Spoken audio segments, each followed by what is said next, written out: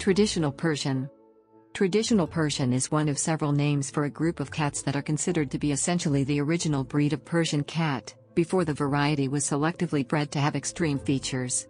Other everyday usage names are doll-faced Persian, classic Persian, old-fashioned Persian, long-nosed Persian, old-style long hair, traditional long hair, and original longhair. The physical appearance of this domestic cat breed barely changed when compared to photos dating back to the late 1800s. However, since some breeders in the United States and other parts of the world introduced the brachycephalic mutation into the breed, the short nose and clear braid became shorter and higher.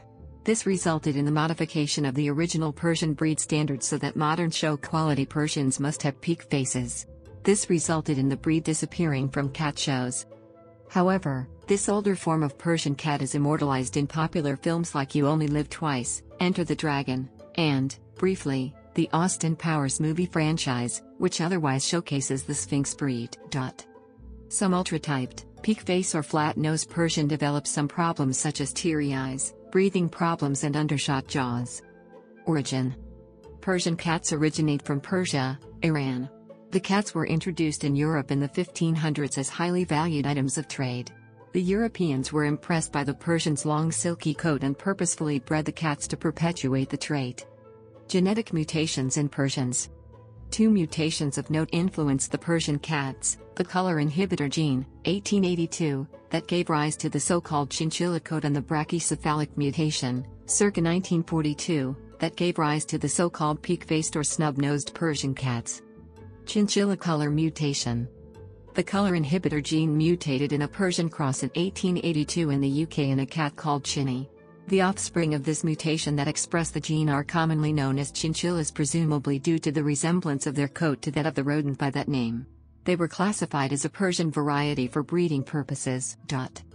Brachycephalic mutation. The brachycephalic mutation in the Persian breed occurred during World War II in the US. This led to a concerted effort to breed Persians with rounder heads and smaller ears than their ancient ancestors after World War II. The resultant brachycephalic heads lead to the much desired snub noses favored by many modern Persian breeders and which dictates the modern standard for Persians in cat fancies throughout the world. Color breeding in chinchilla varieties. The subset of chinchilla varieties experienced problems during the brachycephalic modernization phase with regards to the original chinchilla coloring features. These included loss or incomplete lip and nose liners, patched colored paw pads, and eye color faults. Once lost, it is hard, if not impossible, to recover. By the mid 1950s, concerned breeders of chinchilla in the U.S. advocated pure color breeding. A key person in this regard was Jeanne Ramsdale, author of the book Persian Cats and Other Long Hairs. Breed recognition history up till 2010. Despite the nonconformance to the modern Persian breed standards, some breeders, and in particular those that practice controlled color breeding, continued to breed and register their original long hair cats. The following attempts were made to restore the original longhairs as breed in their own right, namely Sterling Standard. There is some confusion around the name Sterling Cat.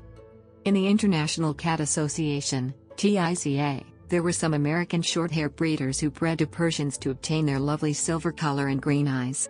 The kittens were pretty to look at but did not meet the true American shorthair type. Jane Martin noticed the effect the outcrosses had on the American type and coat as well as the attractiveness of the kittens. She proposed a new breed, called the Sterling because of their lovely silver color. These new cats were to look just like Persians but with a short, dense plush coat. The name was changed to Exotic Shorthair when all colors got accepted in 1979. In September 1992, the English Sterling as a new breed was presented by Gene Johnson at the TICA 13th annual meeting. Follow up work resulted in the breed with the name Sterling, without English in front, was accepted as Category 1 in TICA in February 1994. Category 1 in TICA means established breeds. The Sterling had Category 1 status only for 18 months, before it was scrapped in total by TICA in September 1995. The assumed reason is that there was a lack of buy in from enough fellow breeders as required by TICA breed recognition rules. Despite this setback, Jeannie Johnson continued by getting the Sterling accepted by the International Cat Exhibitors, ICE, for championship status in 1998. The breed had its own registry under the International Sterling Society. However, not many breeders of chinchilla Persian elected to switch over from the existing Persian standard to the new sterling standard. Mrs. Johnson died in 2006 before she could get wider buy-in for the breed. Due to lack of support, this sterling breed does not exist anymore. Chinchilla Longhair Standard In South Africa, all breeds cat judge and chinchilla breeder Stella Slabber, headed up a project to separate the breed from the modern Persian standard. This standard was only to be applicable to color-bred silvers, commonly known as chinchillas in South Africa. The breed was accepted under the name Chinchilla Longhair with breed code CHL in the SA Cat Council, SACC, in 1996. Traditional Longhair Standard for Silver and Golden Varieties. A global standard for the traditional Longhair Silver and Golden, shaded and tipped varieties was accepted by the WCF in August 2010. The breed proposal was compiled in Cape Town by Alida Delport. The facilitator of the breed recognition process was Dr. Johan Lamprecht, who also did the breed proposal presentation at the WCF. Nestle Purina sponsored the breed recognition show due to these cats being the brand animal used in their cat food advertisements worldwide. The initial standard that was proposed at the WCF Breed Recognition Show, June 19, 2010 in Cape Town, was based on the SAC standard with a request to include the golden varieties. After consultation with the chairperson of the WCF Standard and Judges Commission, Cornelia Hungerecker, the breed name was changed to Tradition Longhair. One other minor differentiation was that the eye shape should read walnut shaped instead of round. Breed recognition history post 2010. Traditional long-hair standard for all Persian color varieties. The 2010 standard for traditional long-hair silver and golden varieties was extended by the World Cat Federation, WCF, in 2012 to include all Persian color varieties. WCF breed name changed to original long-hair. In 2014 the World Cat Federation, WCF, changed the name traditional long-hair to original long-hair projects to extend the breed recognition to more WCC members.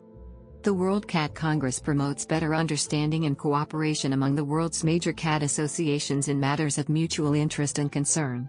It has nine members.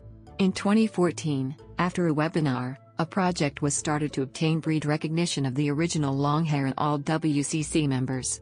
This will take several years and lots of effort.